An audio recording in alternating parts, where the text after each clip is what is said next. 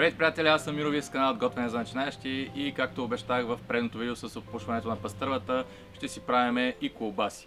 В днешното видео ще ви покажа как да приготвите един, така да се каже, импровизиран салам сервилат, като тук пред мен може да видите дори и съставките, но тъй като знам, че всички хора искат първо да видят крайният резултат и после начина на приготвяне, елате сега с мен в една тайна стайчка.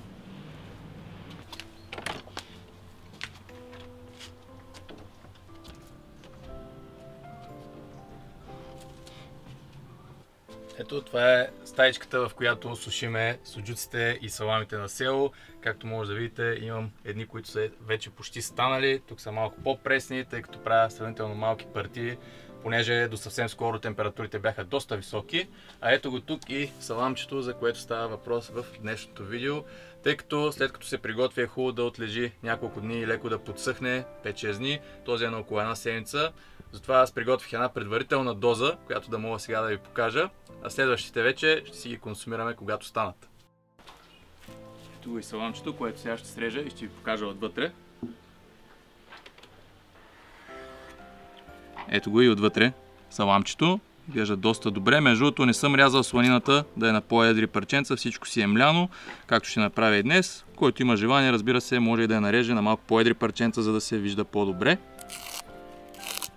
Това се бели изключително лесно, тъй като използвам колагенови обвивки, а не истински черва. Ето и за гладния оператор едно саламче. И аз естествено ще си кусам. Единствената разлика с този салам и днешният ще бъде, че ще добавя малко чесън, тъй като според мен много приятно би се вързало като вкус. И една малка забележка, която получих от моят много добър приятел Джоко от кулинарният канал Ями Ями, който ми препоръча да не меля черният пипер, а да го оставя на а, зърна, защото става с по-добър външен вид самият салам.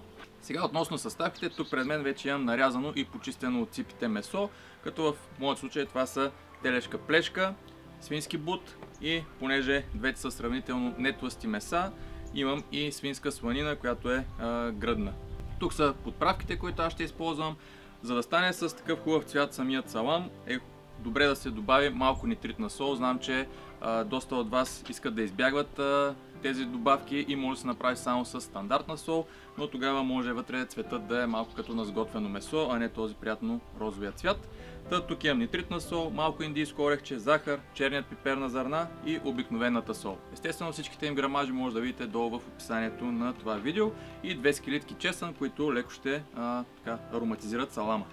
Тук са колагеновите обвивки, които съм си нарязал вече с подходяща дължина, тъй като ще връзваме с конче, хубаво да се оставят малко по-дълги. Ще ги накисна в хладка вода след малко. Мога да премина директно към смилането на месото, като ще го направя на решетка 4 мм. Ако имате 3, може и на 3. Тук ще меля само веднъж, след което умесвам всичко с подправките и директно пълним в обвивките. Накисвам колагеновите обвивки с студена вода. Тях им трябват 10 на 15 минутки, за да се отпуснат достатъчно, за да могат да се пълнят. И може да преминем към меленето.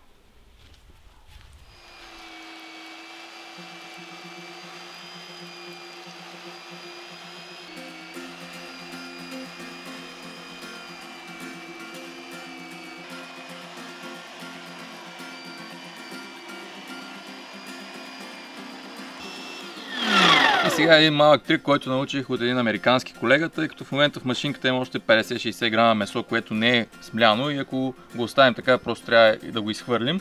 А, някои хора го изкарват с хляб, други с а, вода, но този човек показа как с малка част от вече смляното месо избутва реално и другото. Когато и то хубаво се смели, после просто си варим и а, това, което е останало, то вече е смляно и може да си продължим.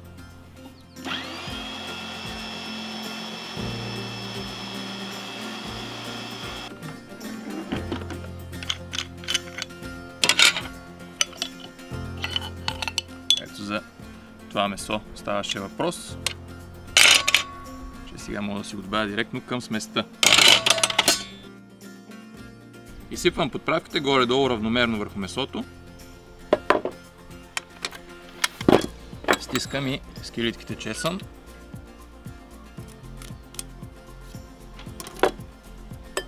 И мога да започна да умесвам хубаво Много е важно и меленето, и месенето да стават при изключително ниска температура на месото. Буквално може да го сложите преди да го мелите за половин час в фризера, за да може температурата му да е близка до нулата. И съответно в последствие при месенето е хубаво сместа, температурата на сместа да не надвишава 8-9 градуса. Ако разполагате с планетарен миксер, месенето ще се случи още по-лесно и по-бързо разбира се, а и няма да ви замръзват ръцете от леденото месо. Къде дойде бе, маник? Надуши саламите ли?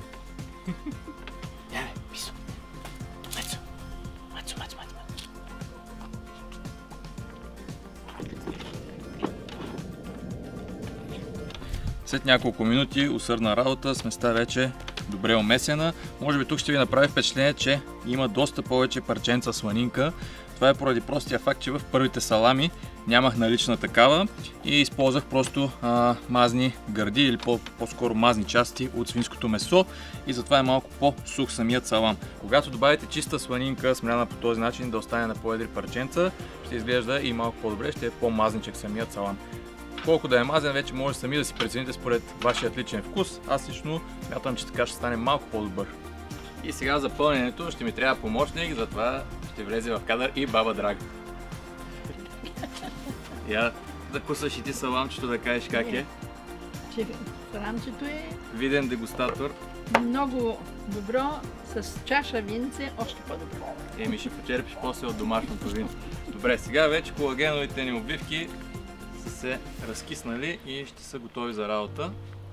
Това, което трябва да направим е да ги вържем в единия край, след което пълним и от другия край стягаме много добре. Не трябва да остава никакъв въздух, затова и с една игла ще ги надупчим, за да може да излиза по време на пълненето въздух.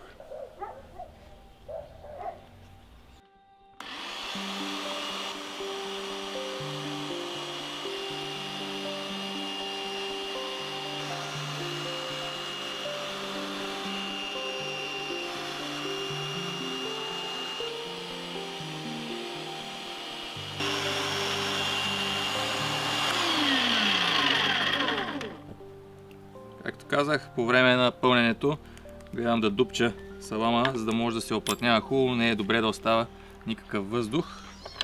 И за отгоре ще трябва да си оставя и аванс. Но преди това, хубаво така с ръка гледам да оплътня вътре никъде да няма дупки, защото после в салама ще има като дефект. Така че нямаме. Между другото, тези обвивки са с FI 60 ако не се лъжа или 65, но може да използвате и по-малки, ако искате саламчето ви да е малко по-тънко. След като го оплътним много добре, издърпвам и завързваме и горната страна. Продължаваме така, докато изразходим цялата смес и напълним всички обвивки. Вече напълнените салами трябва да оставим за 24 часа в хладилника, а утре вече ще ви покажа как и ще ги изготвим, за да станат готови за консумация. Ето ни отново на следващия ден, когато нашите салами вече прекараха 24 часа в хладилника. Една много важна стъпка е да ги изкарате поне за 4-5 часа на стайна температура, да могат леко да се темперират. Аз вече съм го направил, така че може да преминем към тяхното сготвяне. За сготвянето имаме няколко варианта, може да ги направите варено пушени, само варени, може да ги приготвите и на фурна на нисък градус, около 80-100 градуса. В моят случай аз съм избрал да ги направя директно в пушилнята, така хем ще ги сготвя и ще имитирам печенето на фурна, хем и ще се опушат и ще придобият много приятен аромат. Затова сега мога да ги зареждам, като тук нещо специфично за пушилната или за фурната е също, че трябва да вдигате градуса постепенно. Първо слагам на 40 градуса, след това на 60 и така докато стигна лека по лека до 100 градуса. Като горе-долу през половин час вдигам температурата. Вътре вече съм си подготвил кукичките. Направили сме си и с конеца на самите саламчета ушета, за да може да ги закачим.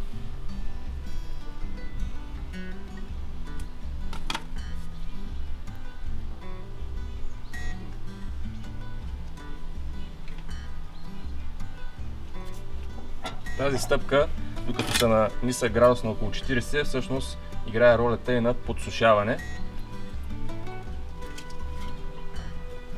Защото димът се отлага по-добре на сух продукт. както вече съм споменавал няколко пъти.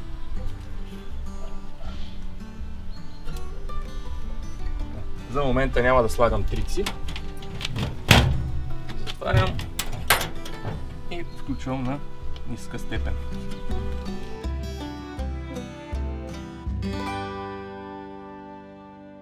Вече стоят около половин час вътре саламчетата на температура близка до 40 градуса. Отгоре клапата е отворена, за да може да не се вдига прекалено бързо а, градусите. Така че сега вече мога да завъртя леко нагревателя и искам температурата да стигне около 60 градуса, където пак ще ги задържа за около половин час.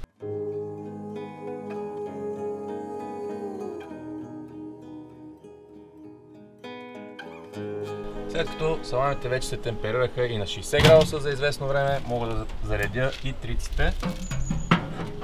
И както казах, започвам вече да ги готвя на по-висока температура. Ще следя тя да не превишава 100-110 градуса. Една много важна подробност, когато имаме нитритна сол в продукта, не е хубаво температурата да надвишава 120 градуса. Може и да греша, ако е така, поправете ме долу в коментарите, но поне аз имам такава информация. И докато саламчетата се пушат, две думи за нашите партньори, с чиято подкрепа реализираме и днешната рецепта. Това са Ита България, откъдето е и тази пушилня. Те ми я предоставиха още миналата зима, сега ще е втори сезон, върши си чудесна работа, аз лично съм доволен и в канала може да намерите няколко видеа с рецепти на нея. Ще има и още в бъдеще, разбира се. Повече информация за тях може да научите от линка, който ще оставя долу в описанието. В техният сайт може да намерите както пушилната, така и нагревателя, димогенератор за студено опушване, както и триците, които използвам в момента. Те са букови и дават много приятен аромат на продуктите, които опушвам с тях. Ако имате някакви въпроси относно уреда и неговото използване, може да ми ги зададете както долу в коментарите, така и във Facebook или Instagram, където може да ме намерите. Страниците са ми готвене за начинаещи.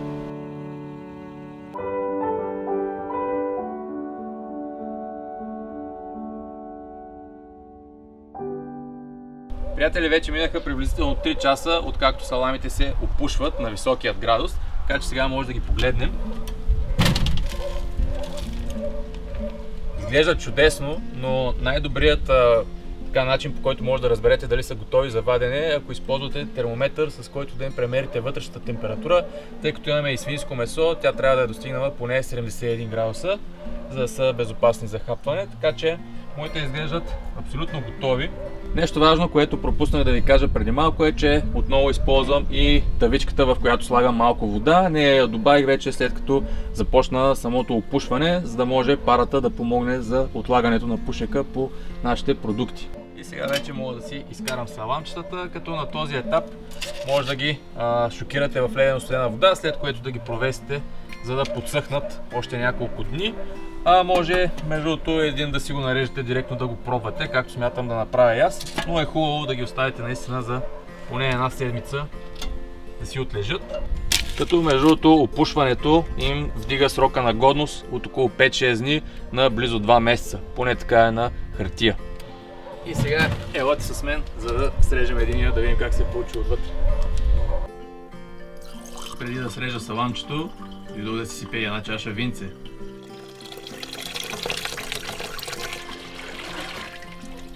Отсеждам вече охладеното саламче, взимам си и чашката с вино и сега може да го срежем.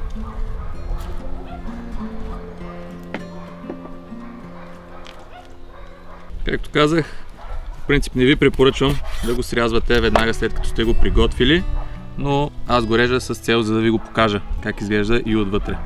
Виждате, много приятен. Сега ще обеля за да го опитаме, макар че все още не си е развил пълният вкус. Когато предстои подсъхне, ще дръпне и аромата на пушека към сърцевината.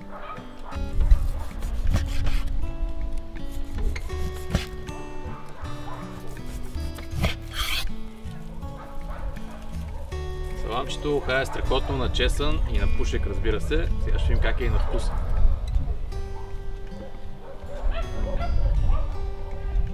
Чудесен е, особено в компанията на домашно винце. Сега, когато вече имам база за сравнение, първият беше без чесън, с смлян черен пипер, вторият беше с чесън, с зърна черен пипер. Често казано и двата се получават супер и с чесън и без чесън. Това вече си е въпрос на ваш вкус, а защо не пробвате да си направите и от двата модела. Ако решите да ги приготвяте на пушилната, както ви казах, около 3 часа им трябват няколко шепи стърготини, настройват си я на около 90-100 градуса да поддържа и забравяте. След това просто може да им се насладите. Сега тия, които не са срязани, ще ги провисна при суджуците и ще ги срежа едва след 10 на дни, когато подсъхнат леко. Благодаря ви, че бяхте с мен. Очаквам ви отново в следващото видео, когато пак ще си приготвяме нещо вкусно, а до тогава може да си харесате друга рецепта от плейлистите, които ще ви оставя тук отляво и отдясно. Чао!